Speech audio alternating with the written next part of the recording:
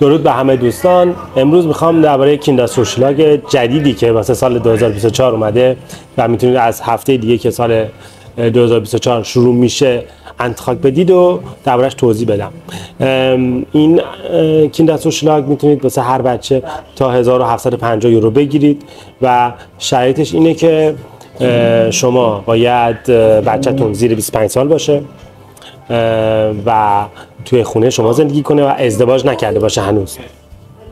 این شامل کسایی هستش که فقط شاغل هستن و اگه دو تا بچه دارید باید سقف درآمدتون زیر 4500 یورو باشه. واسه اونایی که سه تا بچه دارن باید زیر 5200 یورو بروتو باشه.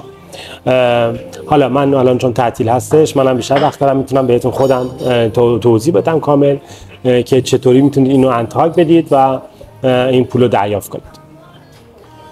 خب دوستان توی گوگل می‌تونید بزنید KiZ-Lotse Kinderzuschlag بعد همون اولین گزینه که میاد می‌زنید روش و این پایین میایم پایین اون قسمتی که قرمز هست رو کلیک می‌کنید. اینجا می‌تونید نگاه کنید که اصلا بهتون تعلق می‌گیره یا نه. بعد اینجا Formular پر می‌کنید. چند تا بچه دارید؟ اینجا زده بعد بزنید. سن بچه ها رو باید اینجا وارد کنید. بعدش اینجا ازتون می‌پرسه پول از دولت کمک دولت می‌گیرید. بعد اگه می‌گیرید اونو سبز کنید. بعد اینجا زده با Partner تون هستید. کسی تو خونه با کسی زندگی می‌کنید شوهرتون یا Partner تون. بعد می‌خواد اینجا درآمد شما رو بدونه. اینجا هم می‌خواد درآمد شوهرتون یا Partner تون رو بدونه چقدر netto brutto در میاره. خب در اگه بچهتون درآمد داره اینجا هم باید وارد کنید. بچه اولین بچه چه دومین بچه؟ بعد بعضی بچه اصلا میرن Minijob کار می‌کنن اینجا باید وارد بشه. اینجا هم می‌خواد بدونه که Wohngeld می‌گیرید.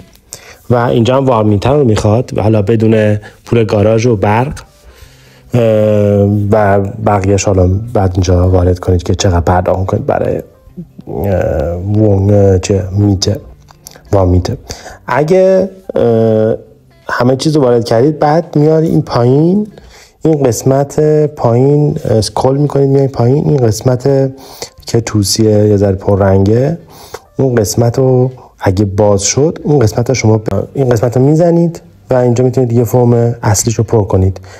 همه این کارا رو انجام می‌دید که به اینجا برسید. اگه بهتون تعلق بگیره این صفحه باز میشه براتون و می‌تونید پول دریافت کنید.